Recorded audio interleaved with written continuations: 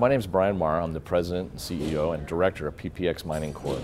I've been involved in the mining business for over 35 years.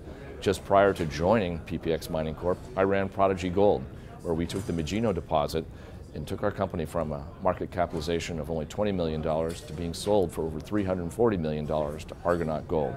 The management at PPX understands not only the technical aspects of the business, mining, engineering, and development, but also the capital markets and the needs of our shareholders. The company is developing its Igor project in northern Peru. At Igor, we have the Callanquitas deposit. We're developing the Callanquitas deposit into a 350 ton per day underground mining and precious metal processing facility. However, the story of Igor is more than just Callanquitas. We've recently made an extraordinary new discovery at the project called Portezuelos, where we see low-grade mineralization coming right to the surface in a potentially bulk mineable form. There are multiple other exploration targets on the property, and we see Igor evolving into a multi-deposit district. One great aspect about the Igor project is its location in the northern Peru copper gold belt. We are literally surrounded by giant mines. To the north is Yanacocha, to the south, Lagunas Norte.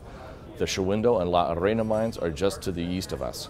Because of this, access and infrastructure is excellent.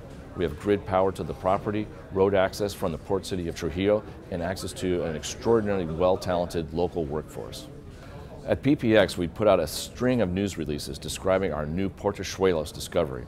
It's located about 500 meters south of our Callanquitas mine, but differing from Callanquitas, it's a large, low-grade, potentially surface mineable deposit. We've had intercepts of up to 40 meters at 2.7 grams per ton gold equivalent, starting right at the surface. We've traced mineralization for over thousand meters along strike and to depths of 300 meters and remains open in all directions, vertically and laterally. It appears that this deposit could be related to our Tesoros target, which lies another 1,500 meters to the south. And as we've been telling the public, this seems to be telling us that the Igor project is not just the story of the Callanquitas deposit and mine, but it's a multi-deposit, district-scale development opportunity.